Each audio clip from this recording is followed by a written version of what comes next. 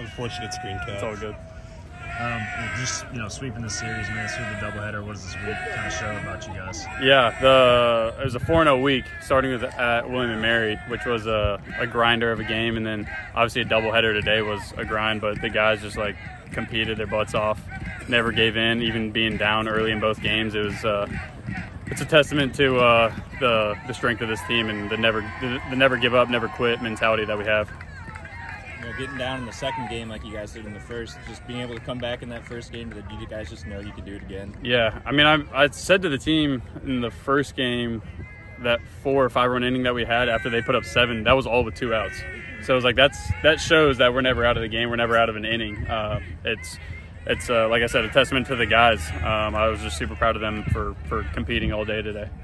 All four games this week, it's some sort of weird thing to them, be it a rain delay, deficits, 13 innings at William and Mary. Yeah. What do you think you learned about this group's mental toughness when you look back on these four games? Definitely. Uh, I mean, this is why this is why we do all the hard hard things in the fall uh, to get us prepared for uh, weeks like this. Um, but we knew um, going into it, it's going to be a, it's going to be a grind, especially a doubleheader today.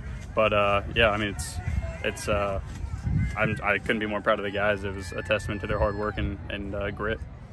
How cool is it to see uh, Camp launch, you know, have a big game? And, Yeah. You know, four or five go go deep there. Yeah, that was awesome. Cam's like, I mean, he's the ultimate teammate. I think uh, current and former te- or teammates of his could say uh, like he's Mr. Pirate. Like he's, uh, I don't have enough good things uh, to say about Cam, but he's more deserve or more deserving of anything and all the success that comes his way because he works his butt off every single day.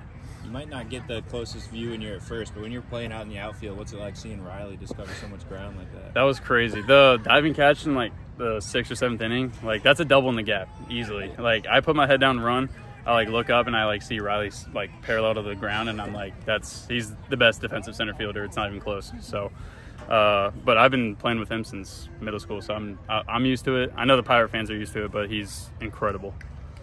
You guys did put in a lot of work this week. Is it good to kind of have a Sunday now to at least sit back a little bit and relax, man? Yeah, uh, I don't think we're doing anything tomorrow, so that's that's good.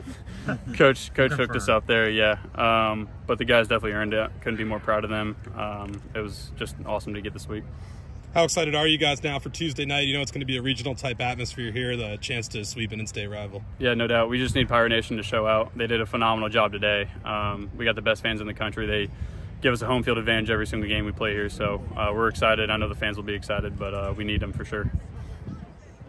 All right, Carter. Appreciate it, man. Yeah, Congrats. thank Thanks, you guys. man.